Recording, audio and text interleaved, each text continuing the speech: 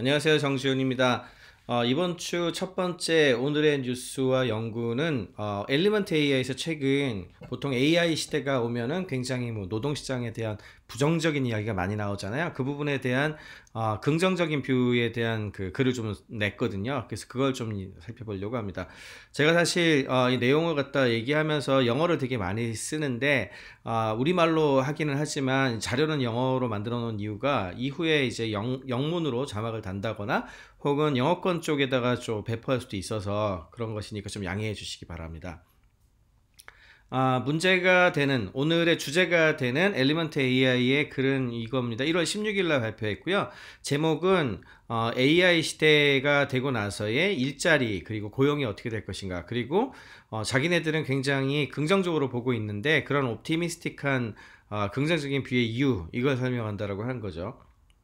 사실 지금까지 나온 것 치고 옵티미스틱한 게 거의 없었어요. 대부분 다 아, 좀 염세적으로 바라본 게 많았죠. 뭐 제일 유명한 게 지금 이게 브루킨스에서 어, 만든 거죠. 웹사이트까지 있어가지고 들어가가지고 자기 뭐 직업 같은 거 넣어보면 얼마나 빨리 대체되나 뭐 이런 거 나오거든요. 뭐 대체로 보면은 한 3, 40%부터 40%부터 시작해서 뭐 100%, 80%뭐 이렇게까지 나오는 뭐 이런 것들이 있었고요. 어, 이거는 캐나다에서 조사를 했었던 건데, 뭐, 완전히 대체될 수 있는 high risk가 뭐 한 40%, 어, 중간까지 합치면 한 60% 이렇게까지 보는 거죠. 그래서 아마도 이런 리포트는 많이 보셨을 거예요. 이거 이외에도 뭐 맥킨지에서 나온 것도 있고, 그래서 대체로 자동화하고 AI가 많이 도입이 되게 되면 우리의 일자리는 대체될 것이고, 굉장히 많은 어떤 실업 문제라든지 이런 것이 발생할 것이다. 뭐 이런 이야기를 되게 많이 하죠. 근데 실체적인 진실을 좀 보자면은 가장 뭐 어, 정확한 트렌드는 이거 같아요. 이거는 이제 데이비드 오토 교수가 MIT에서 했었던 건데 Work of the Future라고 하는 30, 지난 30년간의 노동 리포트를 이용해서 만든 발표 자료거든요. 어, 생산성이 아주 꾸준히 증가하죠. 그게 뭐 AI나 뭐 기계나 여러 가지 기술이 들어가면서 어쨌든 꾸준히 이렇게 선형으로 성장을 해왔어요. 그런데 어, 여기 보시면은 이게 이제 그 노동자들한테 돌아가는 compensation인데 일부 전문직들은 조금 그래도 생산성 올라간 만큼 받고 있지만 거의 대부분의 어, 노동자들이 생산성 올라간 거에 비해서 compensation을 못 받았어요. 그러니까 봉급을 못 받았다는 얘기죠. 노동자들은 그대로야. 그럼 이 나머지 갭은 다 뭘로 갔을까요? 예, 이게 바로 이제 그, 그, 법인한테 자본으로 넘어간 거죠. 자본으로 넘어간 이 갭 자체가 훨씬 더 문제가 된다. 이게 사실은 가장 명확한 실체적인 진실이죠. 그러면 Element AI는 왜 optimistic하냐? 한 세 가지 정도로 이유를 나눠가지고 설명을 하고 있습니다. 어, 첫 번째는 어, 실제로 뭐 이게 이제 제일 반복되는 이야기인데요. 대부분 이제 AI가 들어와 가지고 이제 일을 갖다 한다는 분야를 보면은 대체로 사람이 기계 옆에서 같이 일을 해야 되는 경우가 거의 대부분이다. 뭐 이런 거. 두 번째는 어 지금 현재 AI가 할 수 없는 인간이 가지고 있는 뭐 보완적인 어, 세 가지 능력 뭐 사회성이라든지 공감 그리고 판단과 관련된 여러 가지 부분에 있어서 아직까지 어, 인간이 가지고 있는 어, 장점이 굉장히 많고 특히 이런 세 가지 그리고 이제 공감, 엠퍼티 같은 것들을 가지고 있는 어, 사람들 같은 경우에는 기존에 했었던 것보다 훨씬 더 인간적인 일을 많이 하게 됨으로 인해서 어, 일의 quality가 좋아지고 뭐 이럴 수 있다라고 하는 주장을 하고 있고요. 두 번째는 어, 지금 현대 AI가 실제로 하고 있는 일이 대체로 사람들을 시, 이렇게 replace하고 대체하는 그런 쪽의 어, 종류라기보다는 하고 있는 제품이나 서비스가 quality가 더 올라가도록 하는 거. 그러니까 이 AI를 썼을 때 훨씬 더 진단이 정확하게 나온다든지 생산성이 오른다든지 이런 종류이지 어, 그 사람의 일을 완벽하게 대체하진 않는 아, 대체하지는 않는다는 거죠. 어, 그리고 여기서 또 재미있는 시각을 하나 썼는데 만약에 사람을 대체하지 않고 상품이나 서비스의 quality가 올라간다면 어, 그렇게 해가지고 어, 소위 얘기하는 뭐 비용과 관련된 부분들을 줄일 수가 있다면 어, 비용이 많이 오르지 않으면서 생산성이 늘었다는 얘기죠. 그렇게 되면은 우리가 살아가는 데 필요한 여러 가지 제품이나 서비스를 구매하는 비용이 줄어드니까 우리의 living standard가 올라갈 거다. 어, 그렇기 때문에 훨씬 더 많이 구매할 수 있을 거니까 숫자상으로는 좀 줄어들지 몰라도 더 나은 세상에 살게 될 거야. 뭐 이런 이야기도 하고 있고. 그 다음에, 어, 이 두 번째 이유를 얘기할 때 재밌는 시각을 하나 보여준 것은 기업 같은 것에서의 정책의 변화를 좀 미래지향적으로 할 필요가 있다는 얘기를 합니다. 어, 보통 지금까지는 기업이라고 하면은 어, 엠플로이드 고용자들을 일종의 어, 무형 자산으로 보고서 이걸 비용으로 생각하면 줄여야 된다고 생각을 되게 많이 했잖아요.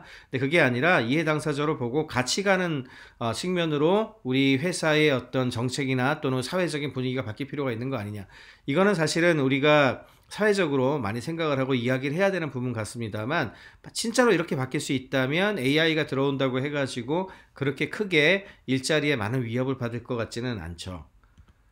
그 다음에 마지막으로 어, 이야기를 하고 있는 것이 음, 실제 수치상으로 봤을 때 진짜 사람들이 하고 있는 일을 완전히 대체하는 숫자는 굉장히 적다는 겁니다. 어, 뭐 일부 태스크, 이게 일이라고 하는 것이 그냥 단순 작업 몇 개만을 갖고 하는 게 아니잖아요. 이게 여러 가지 결합되어 있는데 이것 전체를 한꺼번에 해낼 수 있는 AI라고 하는 것은 굉장히 적다는 거예요. 그래서 실제로는 전체를 뭐 대체하기 어렵다 이런 얘기고요.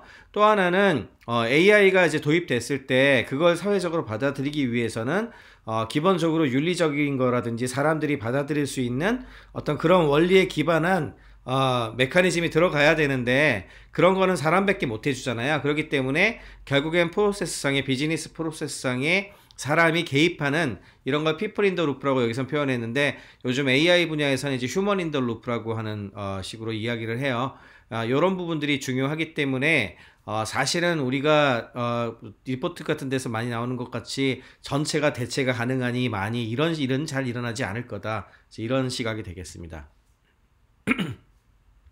어, 그래서 이제 좀 요약을 좀 하자면, 아, 어, 이게 사실은 전 제일 인상적이었어요. 요약이라기보다는 이 세 가지를 합쳐가지고 얘기를 한 건데, 지금 현재 시대라고 하는 것이 사실은 어, 자본 잉여가 되게 많은 상황이라는 거죠. 기업이 가지고 있는 자본 잉여가 되게 많다는 거죠.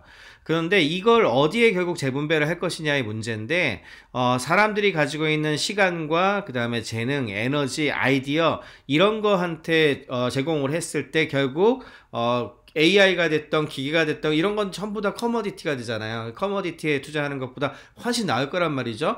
그렇다면 이 capital의 인센티브는 어디 가냐 하면은 어 보다 많은 좋은 human capital한테다가 나누어주는 것이 기업의 경쟁력을 올리는 거기 때문에 사람들에게 돌아, 돌아가는 일자리라든지 돈 자체는 크게 달라지지 않을 것이다 라고 하는 거죠. 근데 확실하게 짚고 넘어가야 되는 것은 되려 아까 그래프에서 봤듯이 어, 그 실제로 기업이 가져가는 돈에 비해서 사람들한테 돌아가는 돈이 너무 적잖아요, 요즘. 그런 부분들을 개선할 수 있는 제도라든지 이런 것들이 더 필요하다? 뭐 이렇게 얘기를 하고 있는 것 같습니다.